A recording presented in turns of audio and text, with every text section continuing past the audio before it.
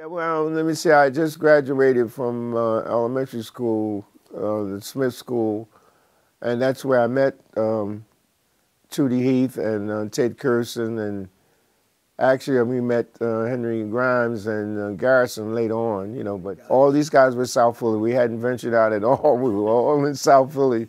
We were doing little dances, little places around in the area that we, we played. In fact, one time we would play, there was a funeral parlor that had a little house where they basically, I guess, embalmed the bodies. You know, I found out later on, but we didn't know then. And it was a wood yard, a lumber yard right across the street. On Friday nights, we would go across and get some sawdust out of the wood yard and sprinkle it on the floor in this little this little um, garage area that they had there and they would let us play there, play our little jazz tunes, just like I said, uh, the Charlie Parker, the Dizzy Gillespie, all those tunes. And um, it would be, like I said, Tootie Heath, uh, Ted Curson, Henry Grimes, and also there was um, a gentleman by the name of Kenny Lowe. His father was the secretary of the Union, Local 274, and he played the piano. And uh, there was a lot of piano players, a lot of different bass players, but everybody, that's where we basically started. What was the first time you sang in public, before people? It's, it's, you know. In elementary school? Well, if that was the first time. They stood me up on a chair, and well, so that everybody could see me, and that's when I sang. And then I was a part of a, a I can't it was a Horn & Hardart Children's Hour. And I won a contest there. I was about five years old. And then I was singing stuff there for, uh, my mother said, uh, they said about eight years, I don't know. But um, that was when I started doing public. But, but whenever my mother took me anywhere to sing, she would just say, please let her open her mouth. but everybody wanted to take piano. They made me take piano lessons for, I don't know, about six months or so. But uh, I didn't want to go back. They was forcing me to take lessons, and I wanted a bike. I wanted to be riding my bike. And the piano teacher told my mother that he's not interested. Because I would go and just sit at the piano, she'd tell me to play something, and I'd play one or two notes, and I, I didn't want to play it. But I wish I had a, took advice and learned piano. It would have helped me later on. So in turn, I learned chords on guitar. I don't call myself a guitarist, but that's how I learned my changes. By playing enough, you know, to be able to play the chord changes. Okay, uh, so that was part of your early musical training. Did you have any other musical training? I was playing drums. When did you start? Oh, when I was about six. That's what I had a set of drums home. And they was trying to make me learn the piano. I played them all the way up to high school, to Ben Franklin High School. And uh, me and Tootie Heath, Albert Heath, uh, had the rhythm section, but he never he never came to school much because he was going on the road since he was like 14, you know. So I found myself in the section all by myself, you know uh, Spanky DeBrest on the bass, and uh, and I was in. This guy Ernest Duncan played so much clarinet and alto saxophone. He was the talk of the town back then. That's what kind of got me interested in alto saxophone. But uh, I didn't start it on until I got about 19 years old, you know. So. So all of them went to Ben Franklin? Did they yes. all go to Ben Franklin? Yes. Jimmy Garrison graduated in 1951. He was bass player with John Coltrane. And by 59, he was with Coltrane, or 60, after Coltrane left Miles. To the end, you know. And uh, there's other ones, Benny Golson. He was there before me, though. He's, he started off in Franklin. He graduated in uh, 44. Well, they, they had jazz before any any jazz band in, in any school in the city, I think, you know, Ben Franklin. They had a 17 piece uh, swing band. They was playing Dizzy Gillespie's arrangements and everything. I didn't know of no other. I tried to think back. I don't know no other high school had jazz bands. If they were, back in the 40s when Benny Golson was going there, I don't know who they were. So I was a pianist um, for the first, I guess I started taking lessons around eight or nine. Uh, that continued um, I got to the Mu- Music and Art High School in uh, Manhattan, um, which is now part of um, Fiorello LaGuardia School of the Arts. And at the time, if you played um, piano and if you sang, you had to take up a secondary instrument. And that's where the bass came in. And that's kind of an interesting story because I got to the sign up sheet, sign up area late. And where they had sent me, the choices were either cello or bass. So, like I said, I got there late. I look at the list, it's already filled out. And all the girls had picked the cello, and all the boys had picked the bass. So I'm like the last one there, and I'm like looking at this list, and I'm saying, and I'm thinking about my hands because at the time, you know, the bass looks kind of big and like callousy, and I had really, I had no intentions of really playing this instrument seriously. I thought I was going to be a piano player, um, but I'm looking at this list. Uh, it was kind of like I guess I felt the pressure to, you know, be um, gender pressure. So I ended up signing on to the bass. So that's how I got to the bass, and I hated it. You know, I, I don't know if you know, like high school basses, they're not the best basses at all. They're like kind of uh, so Plywood? fi- plywood or fiberglass or something. The action's real high, and th- we're talking like the early '70s, like '73, '74. So a lot of stuff. It was just like everything was just really archaic, and my hands hurt, and it was. I mean, I, I literally hated it for about six months, but I knew I was being graded on it. So eventually I, I just said, well, you, you got to figure this out. You got to. And by the time I got to my junior, senior year, I was, I guess I was getting good at it. And I, I like playing in an orchestra. So I, I enjoyed that. And I was starting to play piano less and less. Other thing too, there was a lot. I found that there was a lot of piano players that were just like a lot better than me. so, and there weren't a lot of bass players, and I was kind of progressing. So it's like, okay, maybe this might be, you know, for me. As far as formal instruction on the clarinet, the the school provided lessons, but they were group lessons. Uh, so I had to go every, you know, whatever it was, Tuesday or something after school for a lesson, but it was a lesson with four or five other kids, and they were all more advanced than I was. So when I went for the lesson, uh, the, the teacher, and his name was Attilio, he, he, he said, like, okay, kid, you play that. And I couldn't play. So so he, he, he lost patience with me right away. And at one point he said that his, uh, his expression was, you can't get blood from a stone. So, so he said I wasn't, would never be able to play.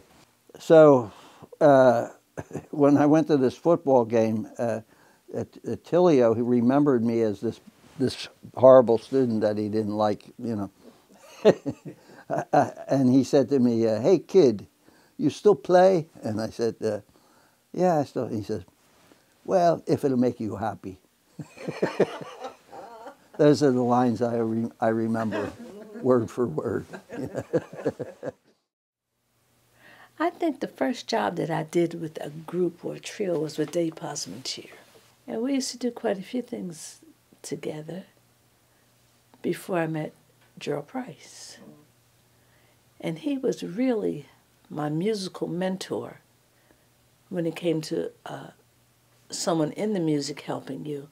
He was my musical mentor to the uh, fact that when I went over his house, and he had a dog that stood up like this, you know, a big, uh, uh, whatever kind of dog that was. And the dog's name was Lush Life. he said because he played playing the piano when he first got him, and Lush was in the middle of the room, and he hit some key chord on that song, and the dog hmm, and went and sat under the piano. So he became Lush Life. And he would leave him outside a lot on his patio when when he was rehearsing or when somebody was there. So one day I went to his house and uh, Lush was outside, and I said, hey, you know, gave him a pat and went on in. Gerald came downstairs, and he said, how'd you get in here? I said, I walked in the door. He said, and the dog didn't bark or do anything? I said, no.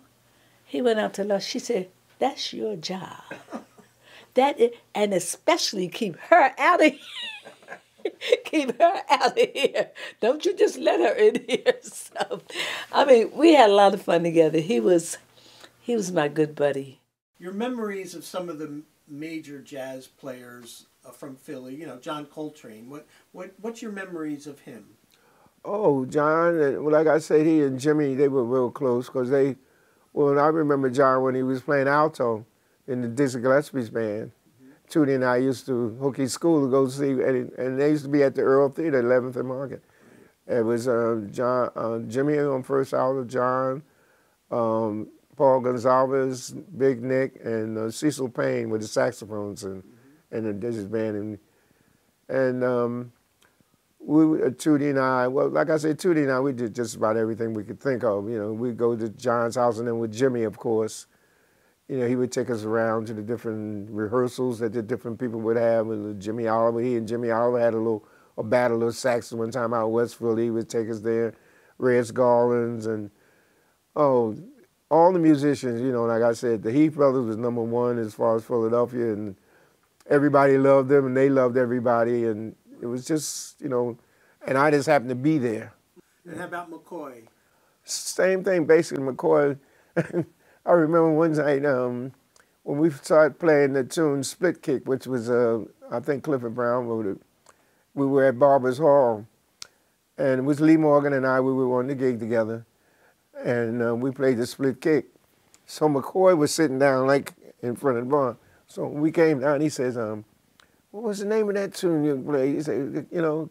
Could I get the changes to it? So we told him what the tune was. He said, "Oh, that's the tune." and there would be another you da da da da da da da. Yeah, And you mentioned Lee Morgan. Uh, yeah. We, well, we used to practice together a lot. You know, Did you? I I had a car early in life. I was fortunate enough to have a car, and I used to drive up from South Philly up to Tioga where he lived at the time. We'd practice in his house and stuff like that. Where the house he grew up in? Yeah, Yeah. uh, yeah, up in Tioga. Okay. What was he like?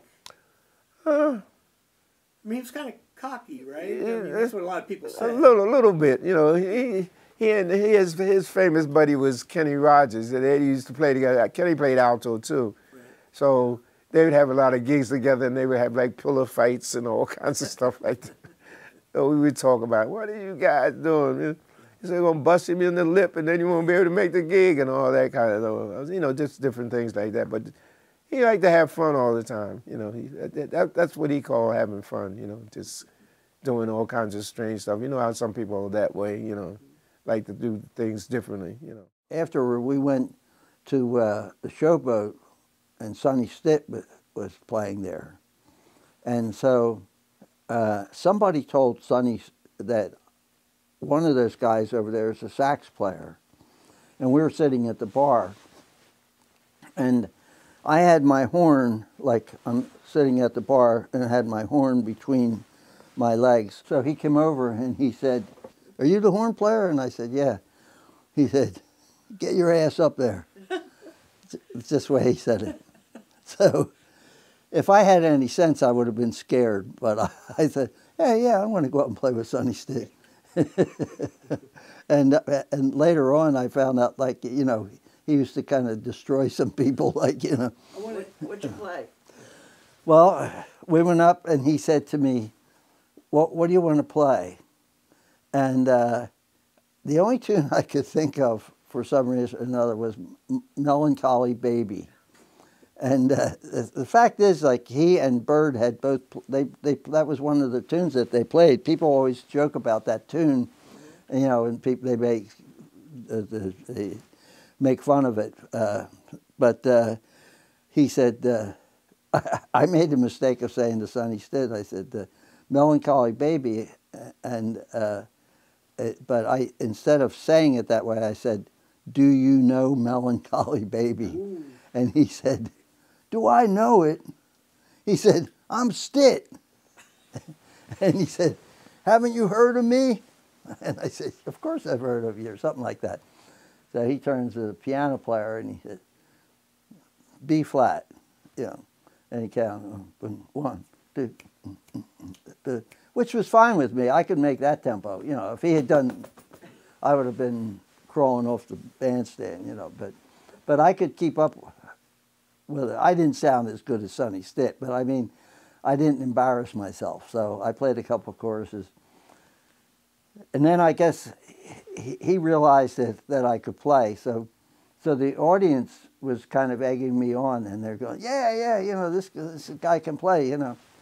So Sonny made sort of a show of it, like he. So he would go like, I'd play something, and he'd go, you know, and then he, yeah. So, so then he would start trading fours. So he'd go and he'd do, do this, and so, uh, so I would take four, and then he. So at one point he he, he did this, this trick fingering on the saxophone, bop bop bop. So I did the same thing, and then he would go like this. So it became kind of, and the audience ate it up. You know, they they loved it. They said, "Oh, this guy, this kid is, you know, he's messing with Sonny." I guess you know. Ortlieb's had music like um, seven nights a week. First of all, you know, and that that was like Command Central. That was the place. You know, if you you know, that was the high point. Um, on the weekends, actually, it was like Thursday, Friday, Saturdays, and Sundays. They had Shirley was there if she wanted to be there. Mickey was there. Arthur Harper, who was like an unsung hero on the bass. You know, had he not had some issues he had, he would have been as well known as a Ron Carter, as a Ray Brown, as a Sam Jones, as a Jimmy Garrison. I mean, he came up in the 50s with all those guys um, the Heath brothers, all those guys, that whole crew. That's when I realized, wow, Philadelphia just really had a rich history.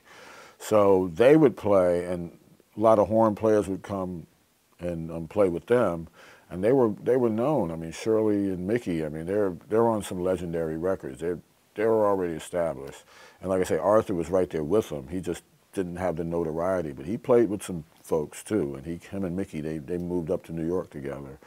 Uh, so guys like uh, Eric Alexander, uh, Joe Magnarelli, some older guys like um, Charles Davis, uh, Cecil Payne. I mean, mind you, we're talking like the uh, maybe late 80s into the you know, early 90s. Tuesday night was the jam session, and prior to us coming in, I think he had Jim Holton um, on piano, Bill Zeno on bass, and Billy James on drums. And Billy James had played with um, guys like Sonny Stitt and Don Patterson, the organist, who actually was a big influence on Joey DeFrancesco. Um, I know a lot of people, you know, Joey talks about Jimmy Smith for obvious reasons, but Don Patterson was right there because if you hear some of Don, you, you hear a lot. I think more, he's probably influenced more from Don Patterson, you know, but certainly those guys. And Billy was his drummer. He was one of the first drummers I played with when I remember doing gigs. I remember playing with him. He, him being really just a sweetheart. So anyway, um, Pete, Pete Souders, who owned the place, was a saxophonist. He wanted to make a change, so he brought in um, myself because at the time I was starting to sit in and play a little bit and play, start playing some upright. So I guess I don't I don't want to um, I want to say like maybe like 95, 94, 95 in there. So he brought in um, myself, um, Sid Simmons, who I had heard um, playing in T&Ts, and Byron Landham, who I played with when he was 16 years old at a place called La, Cha- La Champagne, La Champagne, I think, which is right across the street from um, the Borgia. I'm getting the years mixed up, you know. But Sid I had heard, and actually Sid had gotten me um, playing with late violinist John Blake Jr.'s group, because he was playing with that band. So he'd heard me, and that was mostly an electric fusion kind of thing. So we became a unit like the mid 90s, and we'd play every Tuesday, and you know Pete would play, and then people would come in, like younger people, you know maybe some older people, and that's where maybe that kind of on the bandstand mentoring kind of came about. You know.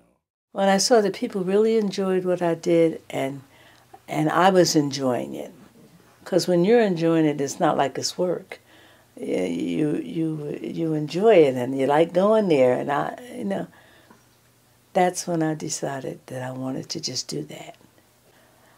Just the way it makes me feel. I like to tell the story. And I like the, when people listen and say, "Oh, wow, yeah," you know. I I like that. I I enjoy that. It's not about being a star. It's about enjoying what you do. And I enjoy that. I was doing Cape May Jazz Festival. And I was I was singing the people would not leave to go to hear any of the other performers that were working at other venues for the festival. So people couldn't get in, new people couldn't get in. And then when uh, what's her name, Woody's wife, came, Carol. Carol said, oh, "You have to stop. We have to stop at a certain time." He said, "Well, well, well why we have to? Well, that's it's because it's the rules here in Cape May. They will fine us." So this man said, "Well, I'll go around with a hat, and we will collect the fee to pay for stay up there." Best advice I was ever given. I don't know what you call it advice, but uh, well, little Jimmy Oliver. He told me, man, this business is rough. But if you keep blowing long and hard enough, somebody gonna hear you. That's it.